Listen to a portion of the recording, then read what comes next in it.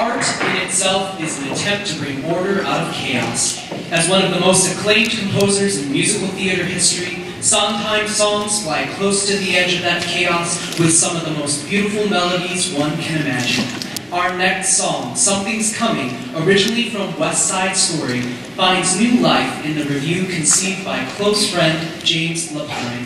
Here's Something's Coming.